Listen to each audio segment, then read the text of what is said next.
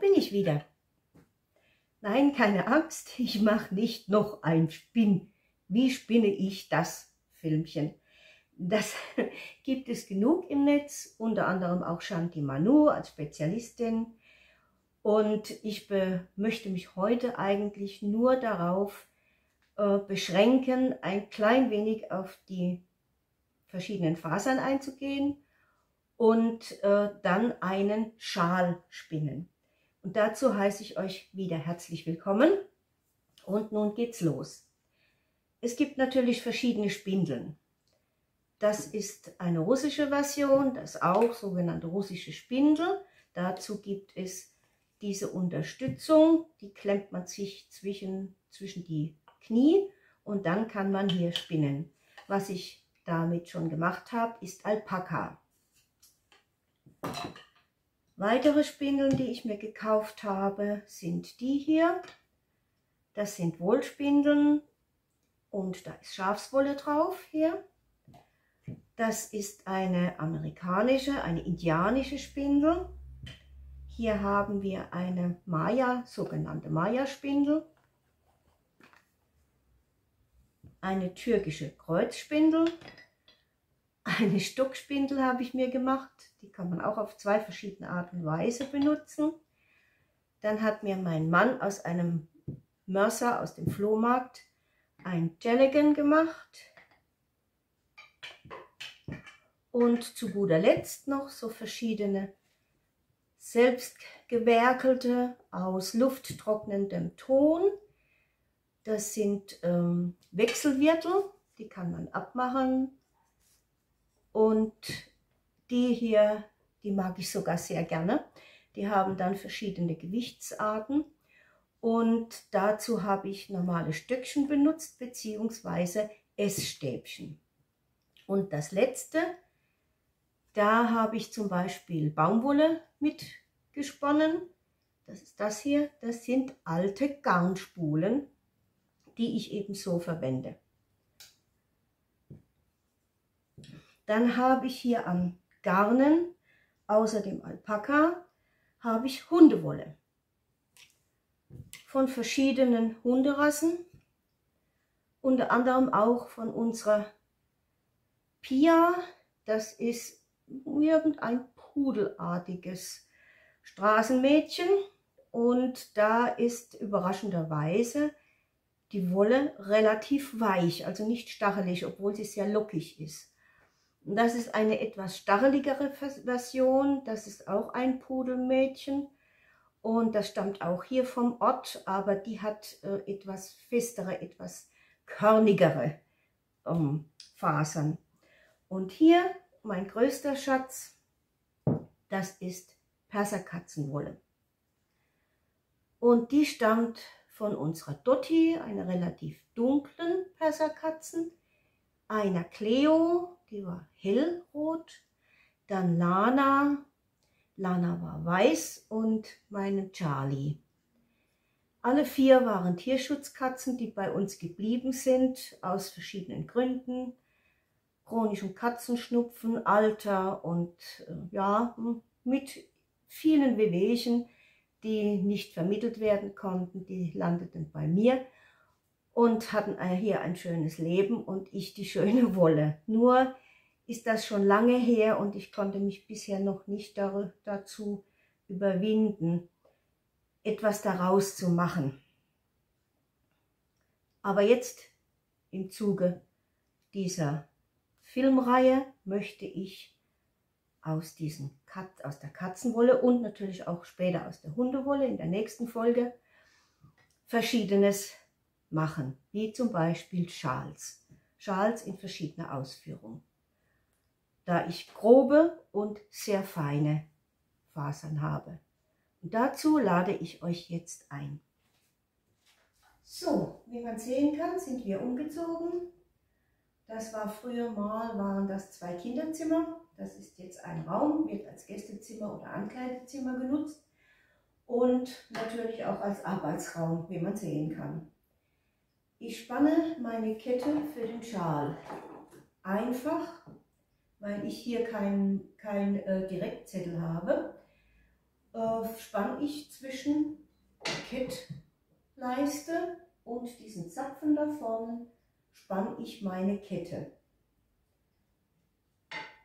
Ich messe die Länge ab, die ich brauche und dann wird zuerst einmal gespannt, das heißt, ich nutze die Weblade als Zettel und ziehe meine Kette über die Zapfen und zurück hin und her, so, lang, so weit ich sie brauche. Meine Mähne habe ich mal gezählt, weil das wird jetzt eine schweißtreibende Arbeit.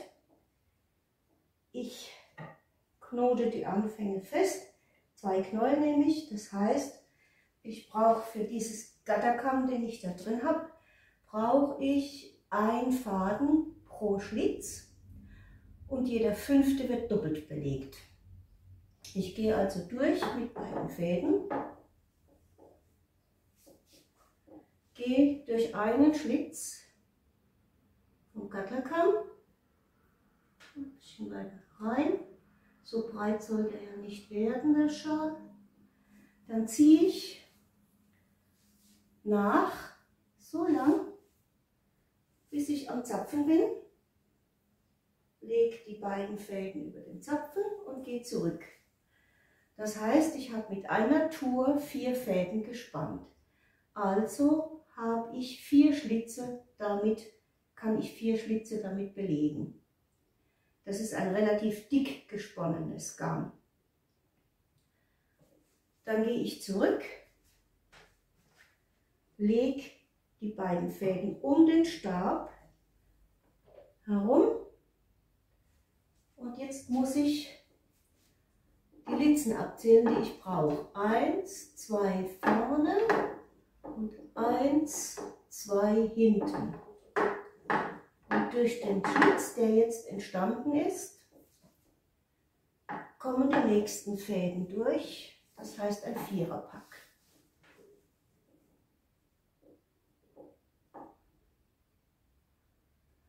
Eins, zwei, drei.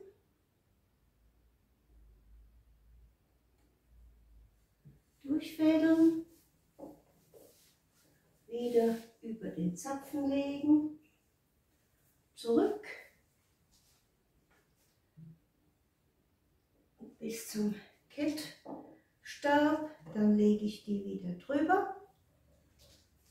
Zähle ab zwei vorne, zwei hinten und fahr durch und zähle wieder die Schlitze ab.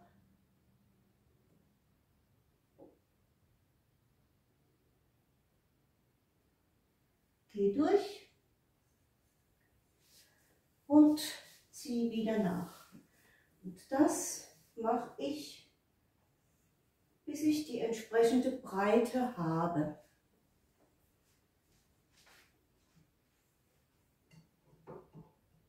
So, jetzt messe ich noch einmal nach, vorsichtshalber.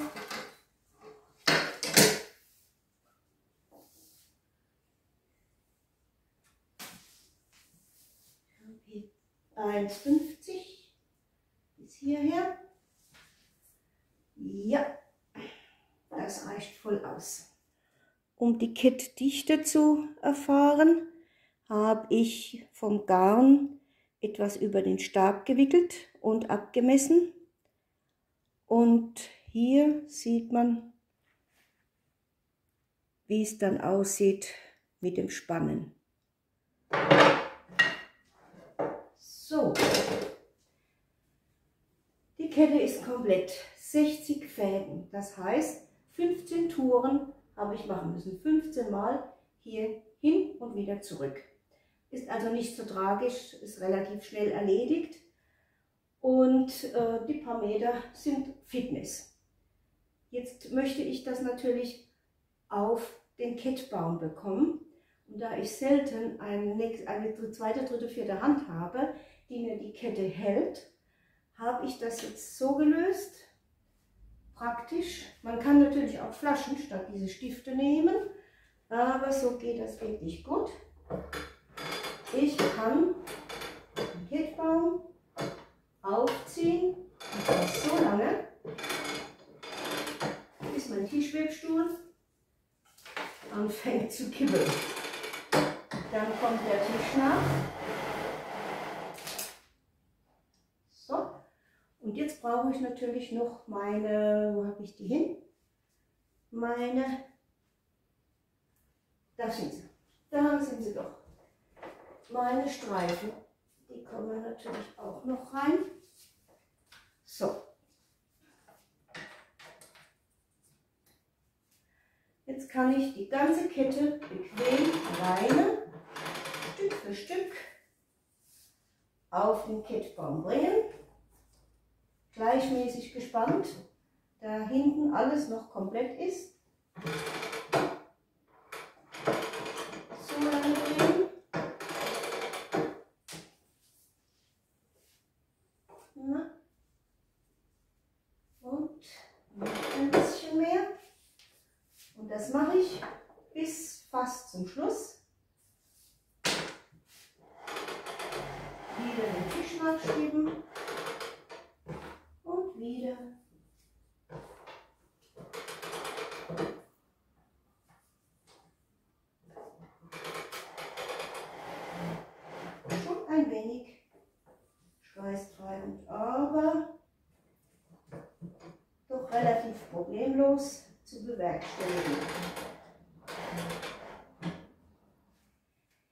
Die Kette ist drauf und ich habe meine Lade wieder entknotet. Und nun geht es ans Einfädeln. Das heißt, ich fange auf einer Seite an, schneide mir auf, da brauche ich meine Schere dazu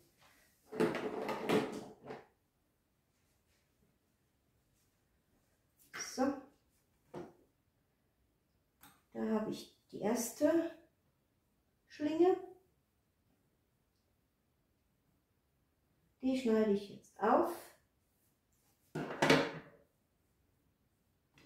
Dann ziehe ich die durch bis nach hinten und nun wird eingefädelt. Das heißt, der erste Faden hinten, der zweite Faden vorne.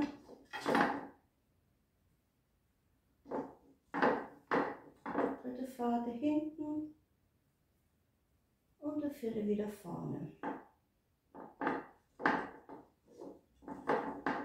Das kommt jetzt alles in die Litzen.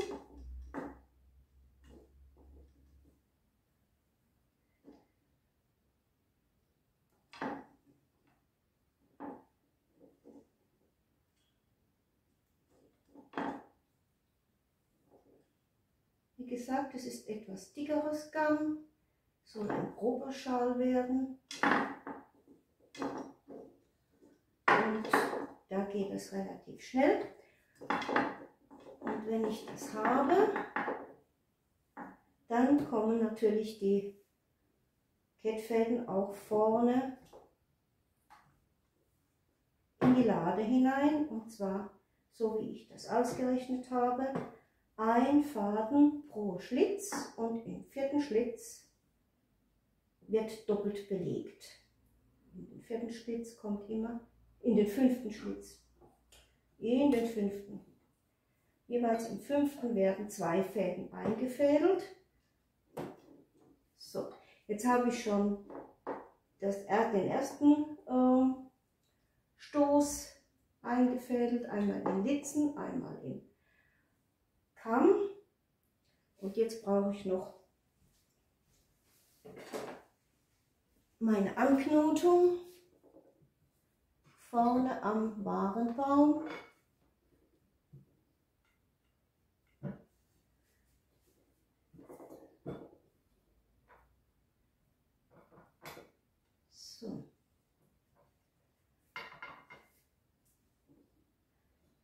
Und die mache ich folgendermaßen. Das ist jetzt etwas zu. So. Ich mache die erst einmal nur ganz nur ganz locker, einmal nur eine Schlinge, eine Schlaufe quasi. Das heißt, ich lege den Faden so durch und mache eine Schlaufe und damit es einmal einen Halt hat. Jetzt muss ich aber erst einmal jedes Bündel in seine Litze einziehen und jeden Faden seinen Platz im Kamm zuweisen.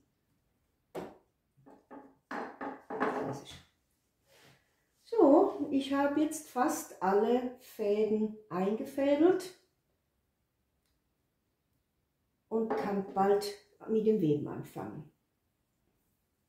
Die Methode, die ich euch heute gezeigt habe oder zeige, die mag vielleicht für einige etwas seltsam wirken. Aber für mich, für meinen Bedarf, ist sie genau das Richtige, was ich brauche. Denn ich stelle keine Meterware her. Ich möchte das nicht. Mir macht es Spaß, Materialien auszuprobieren, Muster auszuprobieren.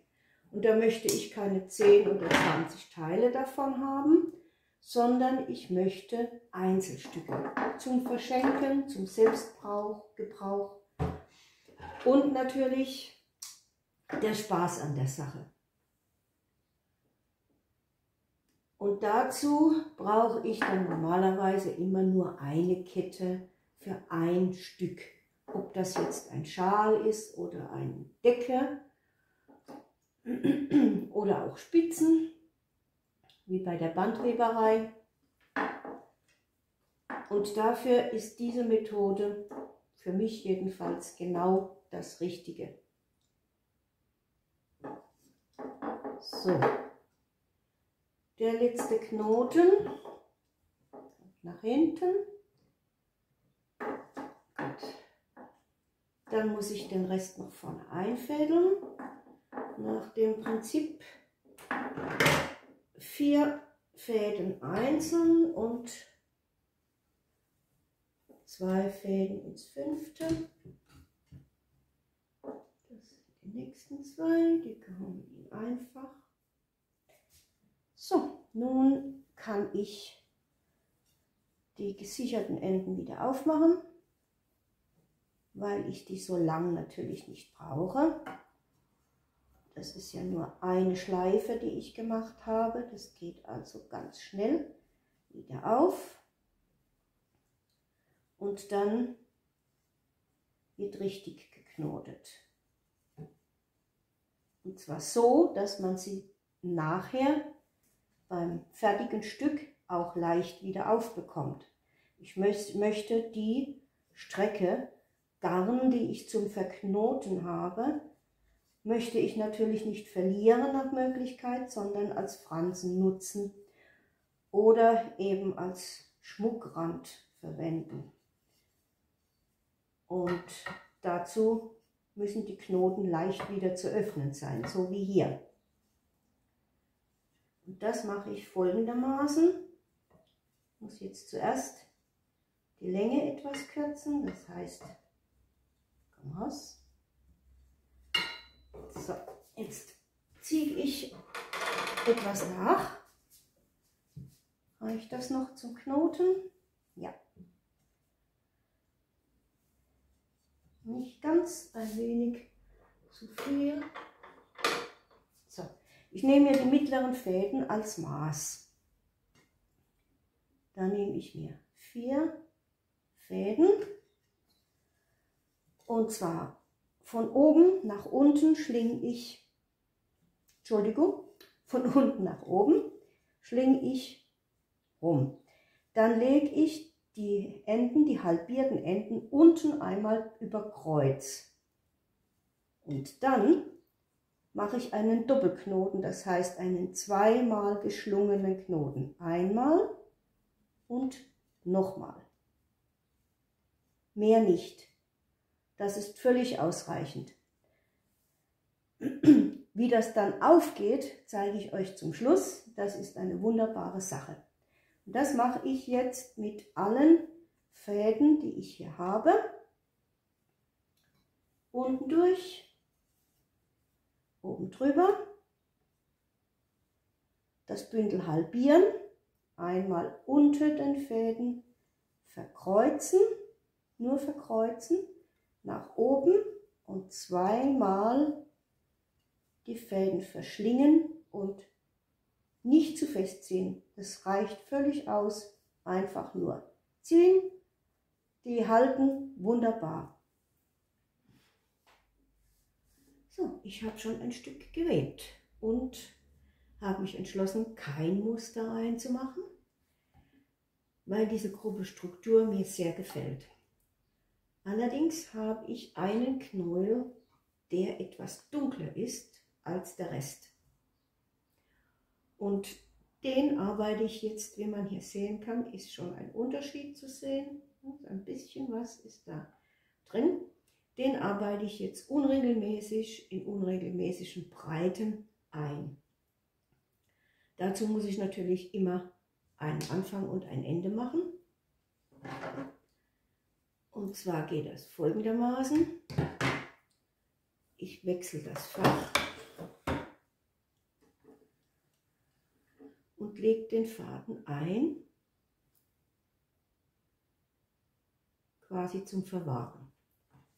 Dann komme ich von der anderen Seite mit dem anderen Garn auch durch.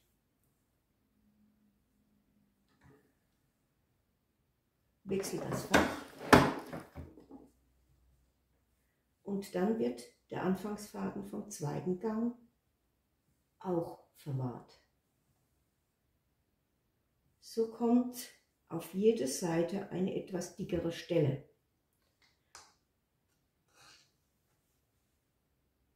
Aber es fällt kaum auf.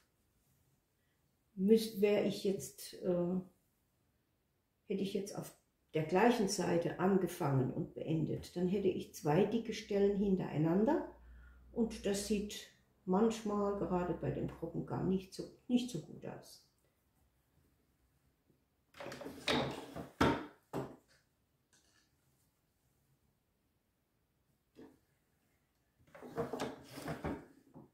Nicht zu fest andrücken, es soll ein sehr lockerer, ein schöner, grober, lockerer Netzschal werden. Also nicht zu fest andrücken. Und jetzt kann ich die Enden, die Zipfel einfach abschneiden. So. Und habe einen Fadenwechsel gemacht.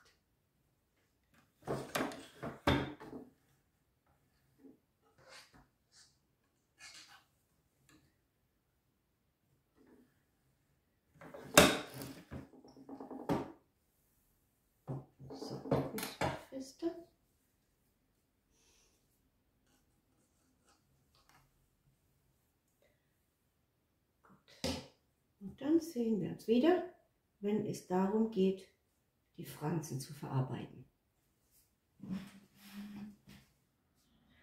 So, fertig gewebt. Jetzt geht nichts mehr. Vorne ist alles zu und hinten das letzte aus der Kette herausgearbeitet. Mehr geht nicht, ohne unsauberes Fach zu kriegen. Nun schneide ich hier auf, an der Stange entlang der Leiste entlang und nehme die Kette ab. Jetzt schiebe ich den Anfang einfach von der Leiste runter und lege das auf mein Knüppelkissen, um die Enden zu versäubern. Es geht natürlich auch ein Polster, ein Polstermöbel, Lehne von einem Sessel oder ähnliches. Und ich mache das gerne darauf, weil ich das zur Hand habe. Nun gehen die Knoten auf und da könnt ihr sehen, wie leicht das funktioniert. Dieser Doppelknoten ist jetzt, da alles locker ist, ohne Probleme aufzumachen und man hat die Franzen frei. Eine andere Möglichkeit ist einfach durchziehen, den Knoten nehmen und ziehen und dann aufmachen. Vielleicht seht ihr das.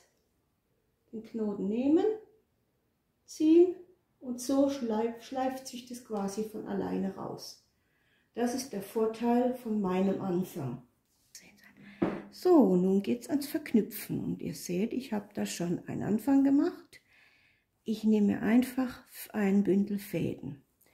Man kann drei nehmen, man kann zwei nehmen, man kann vier nehmen. Vier war mir zu dick und zwei zu dünn. Ich nehme jetzt drei und mache einen Überhandknoten. Und die Schlinge, die rutsche ich nach oben bis zum Ende des Gewebten. Sie ist fest. So. Und das mache ich dann mit allen Bündeln.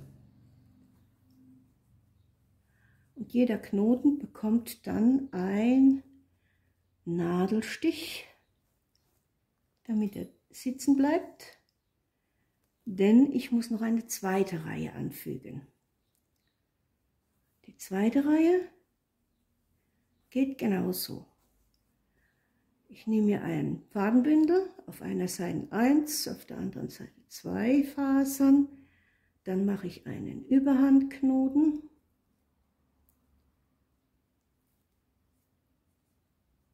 so und setze mir den Knoten dahin, wo er hin soll. Hier in die Nadel rein, ein bisschen raufdrücken, da muss er hin. Gut, und dann ziehe ich ihn fest.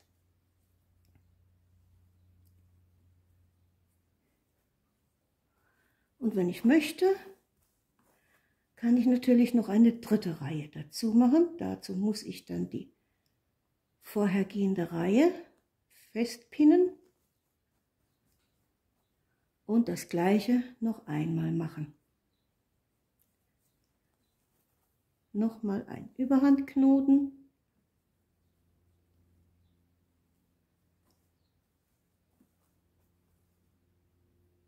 Und den rutsche ich, jetzt fehlt mir natürlich eine Nadel, den rutsche ich dann dahin, wo er hin soll. So. Und dann wird er festgezogen mit den Fingern schön festmachen. Da der. Jetzt kommt die Seite wieder.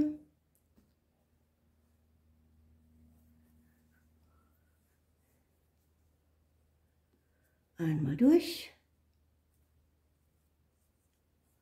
Und wenn er nicht da sitzt, wo er hin soll, dann eben mit einer Stopfnadel geht es noch besser. Die muss stumpf sein. Dahin bringen, wo er hingehört und festziehen. Und somit habe ich ein Netz geknüpft. Und das ist ein sehr schöner Abschluss für Schals oder auch äh, für Bänder, die man präsentieren möchte. Da ist das natürlich auch sehr schön. So, und das ist jetzt der letzte Schritt, den ich machen muss. Und dann ist der Schal fertig. Und wir, wir sehen uns wieder, wenn ihr wollt natürlich, beim nächsten Video. Da geht es um den Hund. Um die Hundewolle und ebenfalls ein Schal mit Muster in diesem Fall. Und den machen wir auch wieder auf meinem Tischwebstuhl. Bis dahin viel Spaß bei eigenen Versuchen und Projekten und Tschüss für heute.